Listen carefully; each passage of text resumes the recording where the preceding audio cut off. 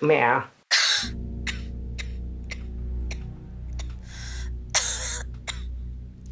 Mẹ bị ốm à Mẹ ốm cả tháng này rồi. Uống các loại thuốc. Thấy đỡ tí nào con ạ. À. Con không về thăm mẹ à. Dạ dạ con con đang sắp xếp ạ. Cả cái xóm này Nhà nào cũng có cháu bỏng cháu bé Mỗi mẹ anh cái thân già Anh không chịu mang người yêu về. Là thế nào? Dạ mẹ cứ thư thư cho con vài bữa con đang tính ạ. Tính gì nữa? Về luôn. Lần này anh không đưa về. Là mẹ chết Cũng không nhắm được mắt đâu đấy. Dạ sao mẹ lại nói thế ạ? Ờ, mẹ mẹ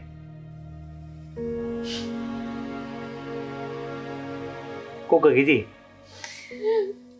Lớn từng nay tuổi đầu rồi. Sao? Mẹ bắt lấy vợ à? ừ. Nhìn gì? à mà tôi có ý này. Cô có thể nào giúp tôi một việc được không? Việc gì? cô đóng giả là người yêu tôi. Về ra mắt gặp mẹ tôi. Thôi thôi thôi thôi thôi Chịu Bao giờ đi làm con dâu bao giờ đâu Về nấu cơm rửa bát Thôi thôi chịu Chỉ biết nằm ngửa thôi. Cô giúp tôi đi rồi tôi sẽ cho cô thêm tiền. Bao nhiêu? thì 10 triệu. 10 triệu á? Nha một cuốc nhá Tôi đi là 500 nghìn. Một ngày tôi đi 5 cuốc. Anh tính xem một tháng Như nào cho hợp lý chứ. Dù gì tôi với cô ấy cũng là khách quen nên là cô giúp tôi nhé Quen biết gì? Ai quen biết gì với cái loại tù tội như anh? cô nói cái gì đấy? Thế, không đúng à? cô về quê tôi chỉ việc chơi thôi không phải làm gì mà vẫn có 10 triệu. Cô không phải phục vụ gì tôi cả. Mà quê tôi ấy, có nhiều thú vui lắm. Coi như là cô đi nghỉ dưỡng tút tát lại bản thân. Cô thấy thế nào? Thôi được rồi Discount cho đây nhá. Cảm ơn cô nhé thế tôi đi chuẩn bị. Ừ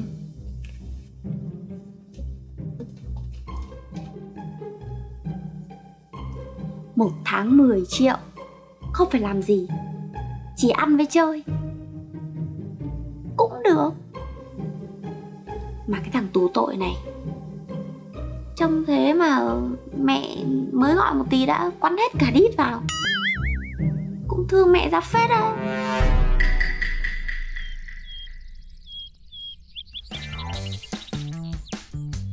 Nhanh cái chân lên. Đi quốc ở đâu đau cái gì? Gần về đến nơi rồi đấy. À, phó thủ đời đâu, chào gái nha Lâu lắm mới gặp đấy. Anh cứ chạy về thăm làng à? Có chuyện gì? Có gì đâu. Người nào gặp nhau thì chào. Ô, em nào đấy? Trông ngon đấy nhỉ? Người yêu, bồ hay là gì đấy? Vợ của tao đấy. Thế cưới bao giờ mà lại không mời anh em? Ừ, ừ. Sắp cưới. Thế có chuyện gì không? Này em ơi, thằng này nó đi tù về đấy Nếu mà chán quá ấy, đến với anh nhé. Thằng này mày nói cái gì đấy? Ờ, nói thế thôi. Ừ. Làm gì mà căng? Mà em gái nhìn ăn mặc uh, sexy thế nhỉ? À. ừ. Công nhận nước hoa thơm thật đấy. Đúng là mùi nước hoa ở gái ngành của khác. Này, thằng kia, mày nói gì đấy à? thằng này chúng mày nói cái gì đấy? Ôi, chạy chạy chạy chạy Thằng chúng mày bị gạch vào đầu bây giờ. Mày cái thằng mất dạy ấy. Bạn anh ấy, toàn một lũ mất dạy mất dạy cái gì nó nói đúng rồi đấy. Cô ăn mặc cái kiểu gì này? Ăn mặc kín đáo rồi chứ. Đã biết là về quê ra mắt rồi mà ăn mặc như gái ngành ấy. Thế chả làm ngành làm gì? Có bao nhiêu tiền ấy, đầu tư hết rồi. Rảnh đâu đi mua quần áo kín xong về làm người yêu anh. Này tôi bỏ tiền ra để thuê cô về đây thì cô cũng phải hợp tác với tôi chứ ăn mặc cho nó kín đáo vào. Mặc như thế này về làng xóm láng giềng rồi mẹ tôi nữa. Mẹ tôi là người khó tính lắm đấy nhá Thế bây giờ phải ăn mặc nhnào?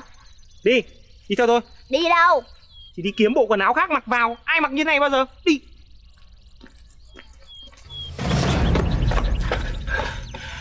Đúng là thằng tù tội Hung hăng thật đấy Cứ hơi ra tí nào là lại một đấm tí đấy Công nhận luôn đấy Cái gì? Mày thấy con này có quen không? Ừ. Mày nói ra tí nào tao cũng ngờ ngợ Hình như là Đừng làm chỉ có hình như Chỉ có chắc chắn mà không bao giờ thôi chứ Mày có nhớ cái lần mà anh em mày về thành phố không? Có đà Đúng rồi, cái lúc mà nhân viên dẫn các em vào cho mình chọn đấy. Ô, hóa ra gánh anh à? Chuẩn luôn Ồ, đúng là con cà ve đi với thằng Tủ. Mẹ thằng này mà biết đấy, thì vui lắm đấy.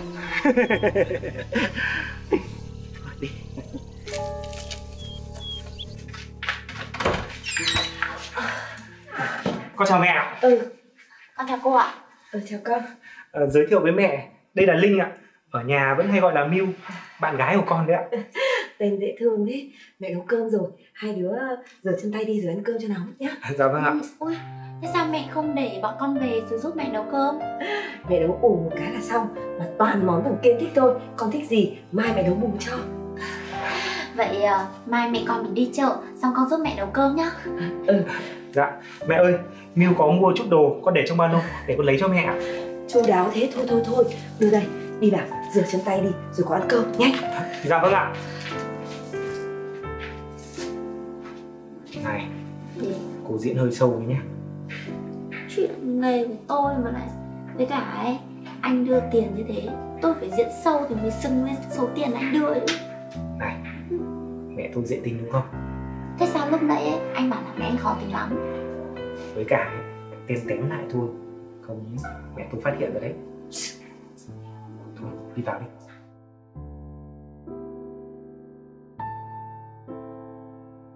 Con uống nước đi. Đấy mẹ lấy nước ấm rồi. Thấy đi đường xa về ho hắng đúng không? Con cảm ơn mẹ. Thế thức ăn có vừa miệng không? Nhà mẹ là nó cứ đơn sơ một mạc thế này Ngoài vườn có cái gì thì mẹ nấu cái đấy. Đừng có chê nhà mẹ nghèo nhá. Mẹ nấu ăn rất là ngon ạ. Mà chả biết thằng cu nhà mẹ nó có tâm sự gì với con chưa? Nó đi tù bị oan đấy con ạ. Oan là sao ạ? Ngày trước Có cái thằng bạn chở đi chơi. Thế xong rồi đâm vào con nhà người ta. Không qua khỏi. Chẳng hiểu nó ngọt nhạt thế nào mà thằng Kiên nhà mẹ lại dại dột lại nhận. Thế là cuối cùng, Mất gần một 10 năm trời con ạ. Mà khi về làng, Đang là cái thằng Kiên ngoan ngoãn chăm chỉ, Tự dưng cả cái làng, cái xã này Người ta déo tên con mình Là Kiên Trại. Nghe mà đau cả lòng. Rồi đi đâu ai cũng xì xào. Xin việc gì người ta cũng không cho làm, người ta bàn tán chả có cái mặt mũi nào ở đây nữa.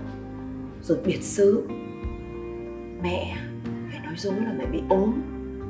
Thế là nó mới chịu về thăm mẹ đây. Mà hôm nay thấy cả con về nữa. Mẹ vui lắm. Trông nó thế thôi. Con đừng chê. Nó cục mình. Chẳng biết ăn nói gì đâu.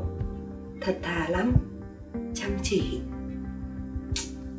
chưa danh mãnh khôn như con nhà người ta thì đã trả đi tù oan mất 10 năm. Hóa ra là từ trước đến giờ mình đã hiểu lầm anh ta rồi. và mẹ thấy thằng kia nó bảo là có thích ăn cá đúng không? Làm sao mà biết được ạ? yêu nhau mà lại không biết. Nó bảo là con thích ăn cá quả nên là chiều nay mẹ dẫn ra chợ mẹ mua cho con to nhất chợ mẹ nấu cho ngon lắm. Vâng ạ. Ừ uống nước đi. Quái lạ. Sao anh ta lại biết mình thích ăn cá nhỉ? Cũng quan tâm mình phết đấy chứ. Con có thích ăn bưởi không? Nhà có bưởi đấy tí nữa mẹ bổ cho. Vâng ạ. Mẹ uống nước đi mẹ. Ừ.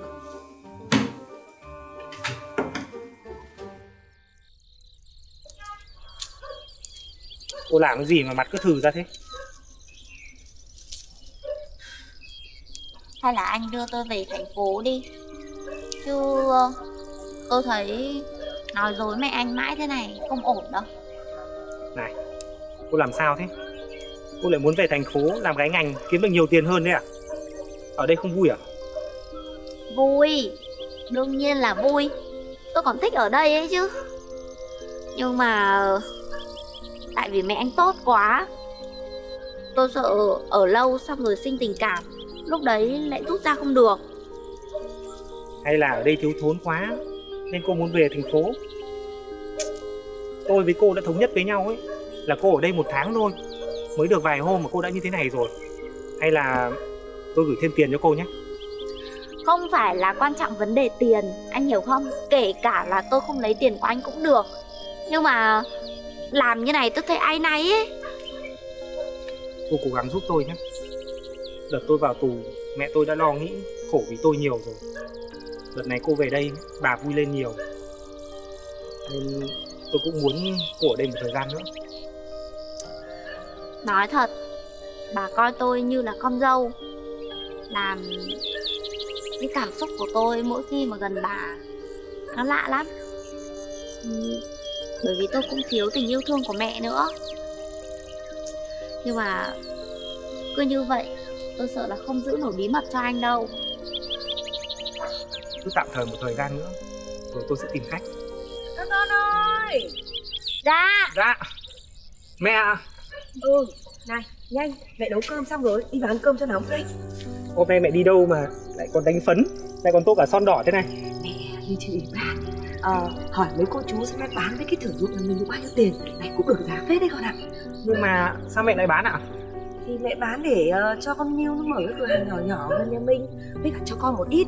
Thế hai đứa đi kêu lỏng mãi thế à dạ. Này Mẹ hỏi rồi Cái thủ tục đăng ký kết hôn nhanh lắm. Mẹ hẹn luôn Sáng mai hai đứa lên đấy nhá. Ờ, mẹ cứ từ từ để bọn con tính nạ bọn con cũng chưa có dự định gì đâu ạ. Tính cái gì nữa? Hai đứa yêu thương nhau thế thì phải cưới luôn. Này các cụ bảo rồi Lấy vợ là lấy liền tay nhá. Sáng mai mẹ đổi 9 giờ sáng. Dạ mẹ để bọn con ờ, bàn bạc với nhau một chút Ờ. rồi con báo lại mẹ ạ. Ừ. Dạ. Nhớ nhá 9 giờ sáng mai đấy. Dạ.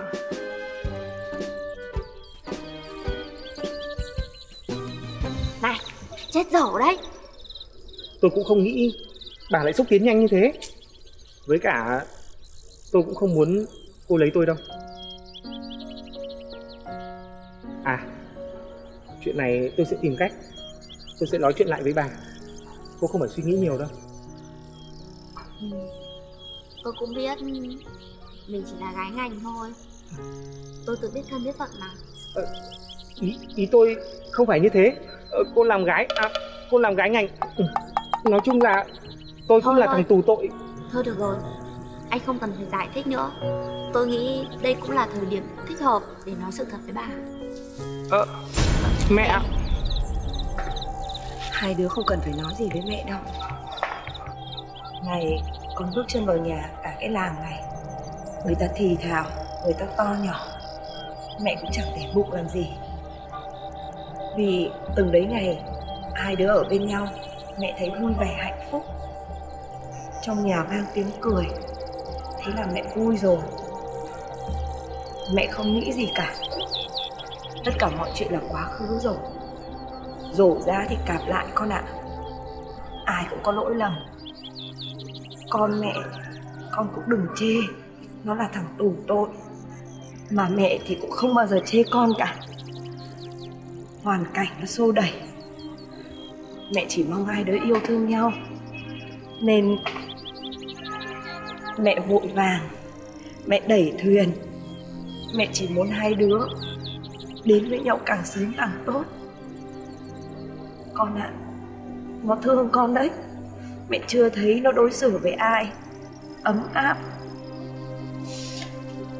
Mẹ hiểu con trai mẹ mà.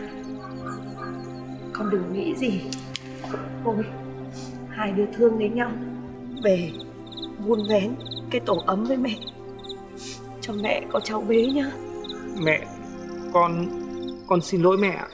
Không phải xin lỗi gì cả Hai đứa cứ sống hạnh phúc với nhau. Đừng có nghe người ta bàn tán làm gì. Thế là mẹ vui rồi. Nào Đi vào. Chiều mẹ đưa đi mua quần áo đẹp Mai lên ủy ban. Còn cái ông kia Có đồng ý lấy người ta không mà cứ đứng đực ra đấy? Dạ con đồng ý ạ. Chả đồng ý vội. Vợ sinh như thế này lại còn ngoan như thế này. Nhanh đi vào ăn cơm. Dạ vâng ạ